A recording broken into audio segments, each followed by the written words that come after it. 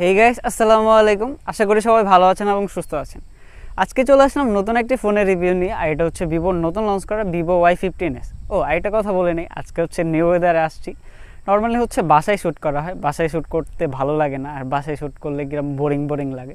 তাই চলে আসলাম নতুন একটা ওয়েদারে আর মূল কথা হচ্ছে সকালে ঘুম থেকে ওঠা হয় না। বাট আপনাদের জন্য ভিডিও দিতে হবে, সেই জন্য হচ্ছে ঘুম থেকে উঠা, সকাল সকাল চলে আসলাম এই ওয়েদারে অ্যান্ড আসলে আসলে ভালোই লাগে। অ্যান্ড নর্মালি আমার ভিডিওতে যেসব শর্টগুলো দেখেন, সেই সবগুলাই হচ্ছে এইখানে করা হয়। অন্য একদিন হচ্ছে এই আমি কি করে শ্যুট করি অ্যান্ড কী কী করি, সবগুলো আপনাদেরকে দেখাবো। ও কথায় আসা যাক এই ফোনটির প্রাইস নির্ধারণ করা হয়েছে বারো হাজার নশো নিরানব্বই টাকা। তেরো হাজার টাকার প্রাইস পয়েন্টে এই ফোনটি কেমন হবে, ভালো খারাপ সব কিছু আপনাদেরকে জানাব। আর এই ফোনটি আমাদেরকে স্পন্সর করেছে এসকে টেলিকম, তাদের শপে আপনার ভিভো সকল স্মার্টফোন পেয়ে যাবেন। আর তাদের সব থেকে পারচেস করলে পেয়ে যাবেন নিশ্চিত কিছু ডিসকাউন্ট অফার অ্যান্ড গিফট সামগ্রী। আর অনেক কষ্ট করে হচ্ছে সকাল ঘুমটুম ভেঙে আপনাদের জন্য ভিডিও করতে আসছি। একটা সাবস্ক্রাইব করে দিয়েন, যদি ভালো লাগে। ডিজাইন অ্যান্ড বিল কোয়ালিটির দিক দিয়ে ভিভো ওয়াই ফিফটিন এস হচ্ছে প্লাস্টিক বিল্ড অ্যান্ড পলিকার্বনেট বোর্ডের একটা ফোন যার রেয়ার পার্টটা হচ্ছে ম্যাট ডিজাইনের আর টেক্সচার দেওয়া। আর এর পিছনের যে ডিজাইনটা এটা হচ্ছে থ্রি ডি কার্ভ ডিজাইন যার জন্য হচ্ছে ব্যাক পার্টটা কিছুটা ডিফারেন্ট কালার শো করে ঘুরাইলে দেখতেই পারতেছেন। অ্যান্ড এইখানের যে ডিজাইনটা এটা আমার কাছে অনেক ভালো লেগেছে। এটা হচ্ছে ফিঙ্গার ক্যাচ করে না, আর এখানে দাগ টাগ পরা কোনো প্যারা থাকছে না। আর সাইড দিয়ে ভালো করে কার্ভ করে দেওয়া যার জন্য ধরেও ভালো গ্রিপ পাওয়া যায়। আর এই ফোনটার থিকনেস হচ্ছে eight point three eight millimetre পাঁচ হাজার এমএচ ব্যাটারি হওয়ার পরেও এই ফোনটা যথেষ্ট light weight and thin and এই ফোনটা হাত দিয়ে না ধরলে বুঝতে পারবেন না যে কতটা লাইট ওয়েট ফিল হয়। আর এই ফোনটা ওয়েটের কথা বললে একশো আশি গ্রাম। তো তারপর আমার কাছে মনে হচ্ছিল যে আরও কম ওয়েট এইটার অ্যান্ড তাদের যে আগের যে ওয়াই সিরিজটা ছিল, সেটা আগের আমার কাছে লাগতো বালকি বালকি বাট এই ফোনটা আগের থেকে অনেকটা লাইট ওয়েট অ্যান্ড ডিফারেন্ট কিছু নিয়ে আসছে। যা সবার কাছেই ভালো লাগবে।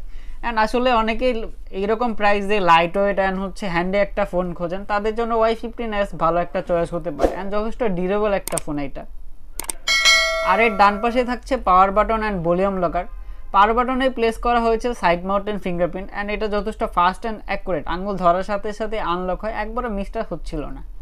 আর উপর দিকে থাকছে সিম ট্রে যেখানে আপনারা দুটি সিমের পাশাপাশি মেমোরি এক্সপ্যান্ড করতে পারবেন দুইশো ছাপ্পান্ন জিবি পর্যন্ত। বাম পাশটা সম্পূর্ণ খালি। আর নিচের দিকে থাকছে three point five M headphone jack main microphone USB port দু হাজার সালে ইউএসবি পোর্ট দেওয়াটা অপরাধ বলে গণ্য হয়। এখানে তাদের টাইপ সি পোর্ট দেওয়া দরকার ছিল। আর স্পিকার গ্রিল থাকছে যার সাউন্ড কোয়ালিটি আমার কাছে মোটামুটি লেগেছে, আর একটু ইম্প্রুভ করা যাইতো।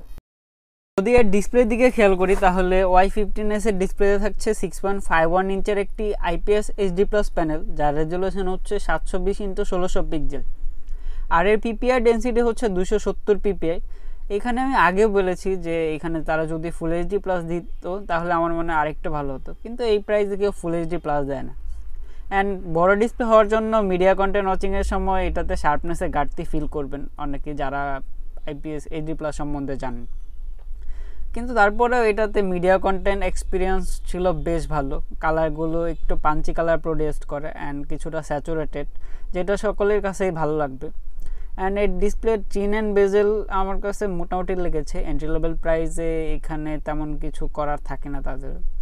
অ্যান্ড এই ডিসপ্লের কালার কন্ট্রাস্ট বিং অ্যাঙ্গেল ভালো লেগেছে। কোনো, তেমন কোনো নেগেটিভিটি খেয়াল করিনি। টাচ রেসপন্সজনিত কোনো ইস্যু দেখিনি। ডে টু ডে মাল্টিটাস্কিং এটা আমাকে তেমন কোনো প্রবলেম দেখায়নি বা তেমন কোনো প্রবলেম পাইনি। অ্যান্ড ডিসপ্লে ব্রাইটনেস নিয়ে বলতে গেলে ডিসপ্লে যথেষ্ট ব্রাইট অ্যান্ড অ্যাকুরেট তবে ডিরেক্ট সানলাইট বাদে যে কোনো কন্ডিশনে ইউজ করতে পারবেন। ডিরেক্ট সানলাইটে গেলে কিছুটা প্রবলেম ফেস করতে পারেন। রেয়ারে থাকছে ডুয়াল ক্যামেরা সেট যার মেন ক্যামেরাটা হচ্ছে থার্টিন মেগাপিক্সেল আর এটা হচ্ছে two megapixel depth sensor and এইখানে একটা জিনিস আমার খারাপ লেগেছে, এখানে হচ্ছে যে পোর্ট্রেট মোডে শিফট হওয়ার জন্য হচ্ছে যে লেন্সে ক্লিক করে তারপরে পোর্ট্রেট মোডে শিফট হতে হয়। আর এর ফ্রন্টে থাকছে এইট মেগাপিক্সেল সেলফি ক্যামেরা তো চলুন ছবিগুলো দেখা যাক। ডেলাইটে এর থার্টিন মেগাপিক্সেল ক্যামেরায় তোলা ছবিগুলো যথেষ্ট শার্প ইমেজ ক্যাপচার করতে পারে অ্যান্ড যথেষ্ট পরিমাণে ডিটেলস ধরে রাখতে পারে। অ্যান্ড ভালো আলো পাই দেখলাম। অ্যান্ড ছবিগুলো কিছুটা boosted and punchy colour produce করে, যেটা হচ্ছে সকলের কাছে পছন্দনীয় বা পছন্দ হবে। অ্যান্ড প্রাইস বিবেচনা করলে ভালোই ডিটেলস ধরে রাখতে পারে। অ্যান্ড কালারগুলো ন্যাচারালের থেকে একটু বেশি বুস্টেড ছিল। অ্যান্ড ছবিগুলো আমার কাছে ভালো লেগেছে। নয়েস দেখা পাওয়া যায় লো লাইটে গেলে। পোর্ট্রেট মোডের কথা বললে রেয়ার ক্যামেরায় তোলা পোর্ট্রেট মোড পিকচারগুলো আমার কাছে ভালো লেগেছে। অ্যাকুরেট কালার প্রোডিউস করতেছিল অ্যান্ড এই ডিরেকশনও ছিল অ্যাকুরেট তবে কালারের কথা বললে এখানে একটু পাঞ্চি কালার প্রোডিউস করে, যেটা হচ্ছে সকলেরই পছন্দ হবে। অ্যান্ড এই ডাইনামিক রেঞ্জের কথা বললে ডাইনামিক রেঞ্জ অতটা ভালো না, এখানে আরেকটু ইমপ্রুভের দরকার আছে। এবার কথা বলা যাক ফ্রন্ট ক্যামেরা নিয়ে।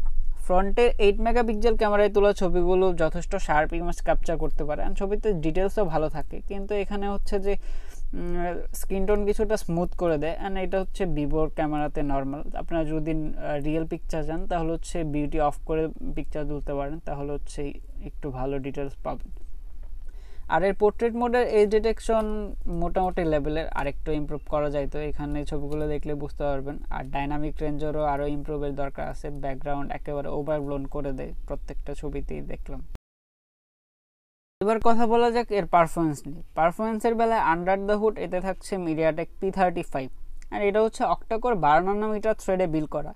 যার প্রথম দুইটি পারফরমেন্স কোর হচ্ছে two point three giga হার্ডের cortex A fifty three and বাকি চারটি one point eight giga হার্ডের cortex A fifty three and এর জিপিওতে থাকছে power VR G eight three two zero and এটা নিয়ে পারফরমেন্সের কথা বললে ডে টু ডে মাল্টিটাস্কিং অনায়াসে করে নিতে পারে, তেমন কোনো ল্যাগ বা হিকাপের দেখা পায়নি। তবে যারা হচ্ছে গেম প্লের কথা চিন্তা করতেছেন গেম প্লের কথা এন্ট্রি লেভেল যেসব গেমগুলো আছে সেগুলো খেলতে পারবেন। কিন্তু যারা হচ্ছে যে পাবজি খেলবেন বা হাই গ্রাফিক্সের গেম খেলতে যাচ্ছেন, তাদের জন্য এই ডিভাইস না। কারণ গেমিংয়ের চিপসেট এটা না। তারপরে হচ্ছে day to day multitasking and টুকটাক গেম প্লে করবেন, যেমন হচ্ছে ফ্রি ফায়ার তারপরে টেম্পল রান এইসব গেমগুলো যারা খেলেন, তারা এটা নিতে পারেন। বাট গেমিং ডিভাইস হিসাবে আমি আবারও বলতেছি, এটা গেমিং ডিভাইস না। অ্যান্ড এরকম প্রাইসে গেমিং ডিভাইস পাওয়া যায় না। যারা হচ্ছে এরকম প্রাইজে স্মার্টফোন কিনতে যান, তারা আসলে গেম খেলে না।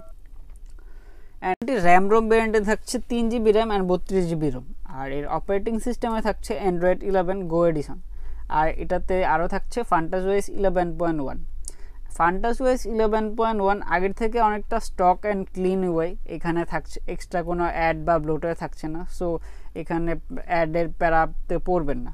আর গো এডিশন হওয়ার জন্য এখানে হচ্ছে যত লাইট অ্যাপসগুলো আছে সেগুলো দেওয়া আছে। আর আপনারাও চেষ্টা করবেন লাইট অ্যাপসগুলো ইনস্টল করার জন্য, যাতে করে র্যাম কম হওয়ার জন্য ফোনে র্যাম ফুল হবে না অ্যান্ড হ্যাং ট্যাং করবে না। ব্যাটারি থাকছে পাহাড় র্যামের ম্যাসিভ ব্যাটারি, যেটা থেকে হচ্ছে যারা হচ্ছে সোশ্যাল মিডিয়া ব্রাউজিং টুকটাক ফোন ইউজ করেন, কথা টথা বলা, তারা এটা থেকে দেড় দিনের মতো চার্জ ব্যাকআপ পেয়ে যাবেন অনায়াসে। আর যারা হচ্ছে গেম প্লে করেন রেগুলার সবসময় ফোন ইউজ করতে হয়, তারা এটা থেকে সাড়ে আট থেকে নয় ঘণ্টার মতো স্ক্রিন টাইম পেয়ে যাবেন।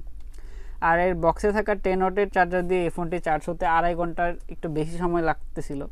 আর এই ফোনটা হচ্ছে ফাইভ ওয়াটের রিভার্স চার্জিং সাপোর্ট করে। তার মানে হচ্ছে এই ফোনটা থেকে অন্য একটা ফোনে চার্জ দিতে পারবেন।